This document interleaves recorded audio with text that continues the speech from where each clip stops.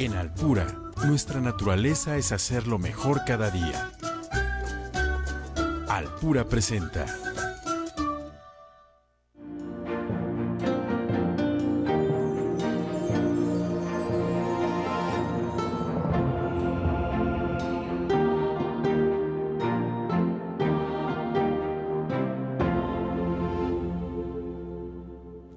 Y ya estoy de regreso, queridos amigos, como les prometí. Ahora para darles a conocer la figura de la fundadora de la Orden de la Compañía de María, Santa Juana del Estonac.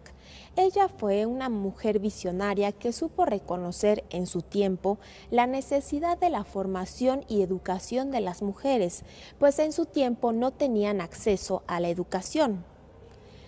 Santa Juana, inspirada en la espiritualidad de San Ignacio de Loyola, fundó esta orden para tender la mano a todas las mujeres necesitadas de educación y por supuesto de espiritualidad.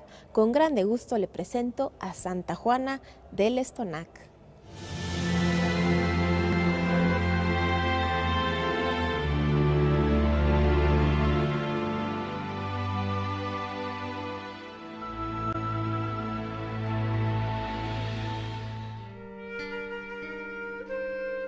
Santa Juana del Estonac fue una mujer que supo acoger con radicalidad y serenidad los diversos acontecimientos de su historia para convertirlos en un camino de crecimiento y de donación para construir un proyecto de vida desde el Evangelio consistente en mantener la llama y tender la mano, tal como lo hizo la Virgen María primero hija, esposa y madre, luego monja cisterciense y después fundadora de la Orden de la Compañía de María.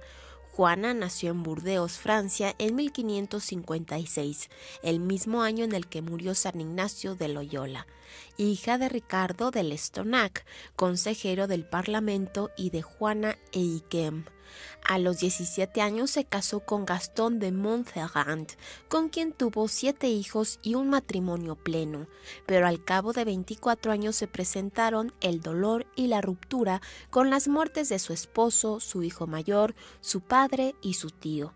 Ya viuda, educó y formó a sus hijos hasta hacerlos independientes, y a los 46 años ingresó al monasterio cisterciense de las monjas fuldenses en Toulouse, donde tomó el nombre de Juana de San Bernardo en su nueva vida monástica marcada por oración, penitencias y abnegación, al cabo de seis meses, a través de una experiencia mística, recibió una visión celestial que le mostró a una multitud de jóvenes en peligro por causa de la ignorancia y que le reveló que su entrega a Dios no sería en el monasterio, sino en vivir las actitudes de la Virgen María, tendiendo la mano a la juventud amenazada.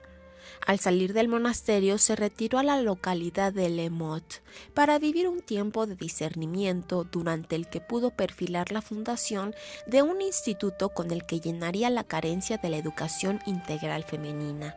En 1605, la epidemia que invadió a Burdeos le permitió prestar ayuda en los barrios de miseria, descubrir allí el misterio de la presencia viva de Jesús en los pobres y encontrarse con varias jóvenes que sintiendo la llamada del Señor se comprometieron con su proyecto apostólico.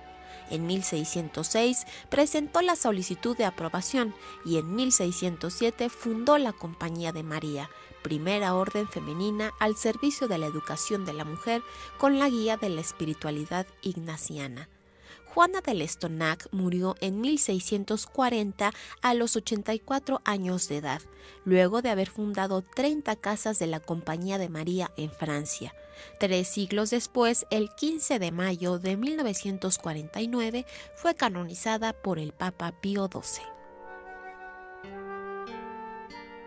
Fue una mujer que aportó novedad a la iglesia, es una mujer que aporta novedad a la educación, es una mujer que aporta novedad a la vida religiosa, es una mujer que aportó novedad no solamente a eso, sino también a una estructura eh, arquitectónica en la vida religiosa. Entonces, si te fijas, es una mujer de lo nuevo, es la mujer de la novedad, es la mujer que aporta, este, que aporta de alguna manera una forma nueva también de acercarse a la experiencia religiosa, no solamente en la vida religiosa, sino también de todas aquellas personas que inciden o que, les, que, vibran con una espiritualidad que es para toda la iglesia. La pedagogía de Dios en cada ser humano eh, se manifiesta, pero en Juana del Estonac, a través de su historia, tú puedes ver precisamente eso, cómo Dios fue tejiendo a una persona que podía aportar algo nuevo a la iglesia.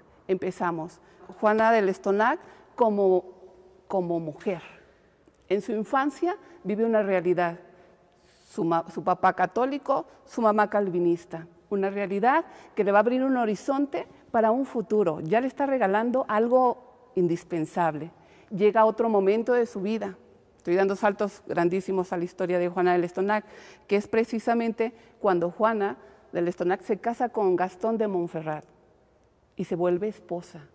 Y después de volverse esposa, se vuelve madre de, sus hijos. Y después vive la experiencia y el dolor de lo que es perder a un hijo, de lo que es perder a un esposo, de lo que es perder a sus referentes más cercanos, que es su tío Miguel de Montaigne. Este, y todo eso, yo creo que Dios iba gestando ya en ella algo importante. No es una mujer que deja pasar la vida. La vida se acoge, se relee, se retoma y se responde. Y yo creo que Juana del Estonac, Dios le regaló como don y como gracia en ese proceso de su vida ir releyendo la vida para poder dar una respuesta.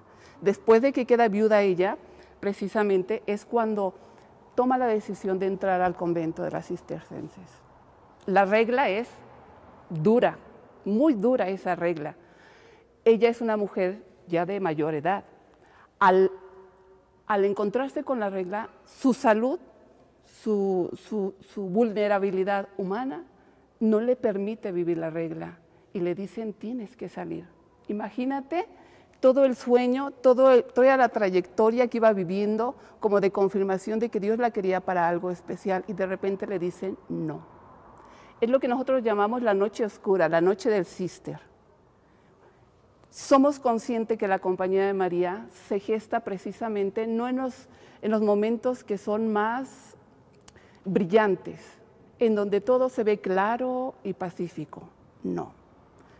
nosotros aprendimos con Juana del Estonac que son en esos momentos oscuros donde Dios gesta algo, donde Dios nos comunica y podemos también de alguna manera darnos cuenta de algo. Juana del Estonac se da cuenta que en ese momento eh, histórico en su vida, la mujer no tiene acceso a la educación. La mujer no tenía posibilidad de, ir más allá. Y con la vivencia del pasado de ella, de una mamá que era calvinista, donde la educación de alguna manera tenía algunos efectos, un tío que se dedicaba a los ensayos, Miguel de Montaigne, un padre que era católico, entreteje toda esa experiencia y se da cuenta y se da cuenta que hay mujeres y niñas que no pueden.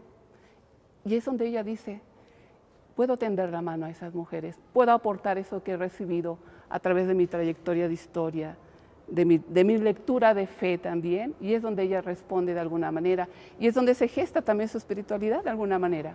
A Juana del Estonac, toda su trayectoria de la historia, de su historia personal, le ayuda a vislumbrar un proyecto de vida religiosa, que puede tender la mano a las jóvenes. De alguna manera, eso es lo que le da como luz. Y, es, y no solamente eso, fíjate, es ella que lo vive, pero la magia, no la magia, la gracia de Dios es poder contagiar a otras mujeres y que otras mujeres se contagiaran con eso que había gestado Dios en su vida y que hoy por hoy, bueno, estoy hablando de saltos a la historia, ¿eh? pero del tiempo de Juana del Estonac hasta nuestro tiempo, hoy seguimos habiendo mujeres religiosas que vibramos con un proyecto, pero no solamente religiosos, tenemos eh, jóvenes, tenemos profesores, tenemos gente laica que vibra con este proyecto y que están, están viviendo una espiritualidad de eso, de tender la mano a aquellos lugares donde nos encontramos.